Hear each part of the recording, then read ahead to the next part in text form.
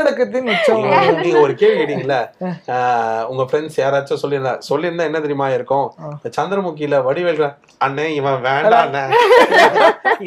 இந்த சீன் தான் ஜாஸ்தியா நடந்திருக்கும். ஆக்சுவலா என்னன்னா வி-